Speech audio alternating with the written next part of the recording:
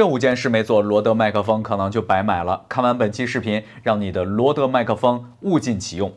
这是使用最方便的无线麦克风，Wireless Me，开机就能用，音量自动调整。现在这个一拖一的麦克风又迎来了一拖二的版本，还有白色可以选择。各位好，我是赵军，这里是赵军日记。拿到罗德 Wireless Me 无线麦克风有几件事情必须做。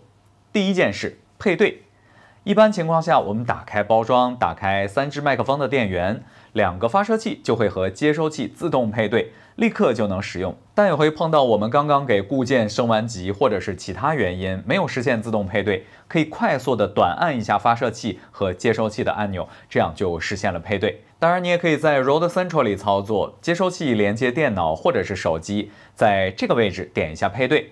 在发射器上点一下确认就能配对成功。第二件事，下载 Rode Central，罗德 Wireless Me 无线麦克风所有的设置都需要使用 Rode Central 这个 app。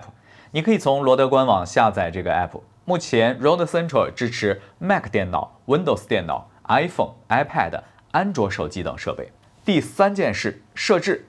Wireless Me 接收器连接电脑或者是手机，打开 Rode Central，你就可以设置麦克风的增益辅助模式、麦克风输出音量、拆分模式还是合并模式、LED 灯亮度、升级固件等功能。Wireless Me 默认了关闭接收器上的麦克风，我们管接收器上的这个麦克风呢叫做 Me Mac。如果你需要用这支麦克风录制声音，点击这里开启。当我们希望一次录制成功时，确保麦克风是合并模式啊，这时两只发射器上的麦克风和接收器上的麦克风都会录音，所有的声音混合在一起录制到你的相机里。如果录制完成，后期需要单独调整三支麦克风的音量，比如单独调整其中一支麦克风的音量，就需要在这里选择拆分模式。这时两只发射器的麦克风的声音混合之后成为左声道，呃，接收器的麦克风声音成为右声道。关于 Wireless Me 的声音设置，我会单独再录制一期视频。第四件事情，更新固件。当官方发布了最新的固件，当你把麦克风和电脑连接，并打开 Rode Central，就可以看到提醒，点击升级就可以了。时刻保持你的设备是最新固件，让你的麦克风拥有最新的功能和最好的状态。第五件事，观察一下风的速度。